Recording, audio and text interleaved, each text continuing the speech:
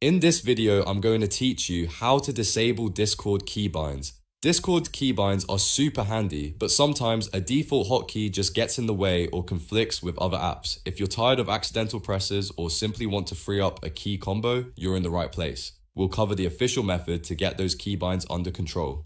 So let's dive right in. First things first, ensure the Discord desktop application is open. This process is for the desktop version. Once open, look bottom left near your username. You'll spot a small gear icon, your user settings. Click it. A new window appears. On the left sidebar, scroll to and click the Keybinds tab. This is where custom key shortcuts are managed. To disable a specific keybind, we'll create a new one to neutralize it. Click Add a keybind.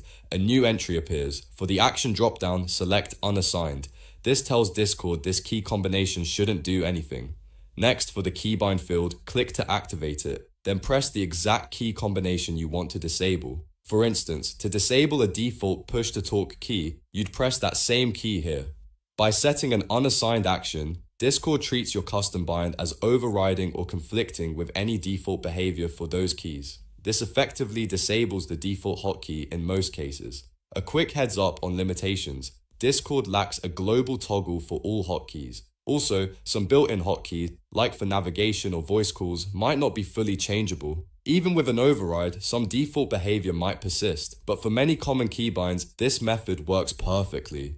And there you have it, a simple official way to disable those unwanted Discord keybinds. If this video helped you out, please give it a big thumbs up, share it with a friend who might also find this useful, and don't forget to subscribe for more helpful tutorials. If you have any questions or specific keybinds you're struggling with, let me know in the comments below. Thanks for watching and I'll see you in the next video.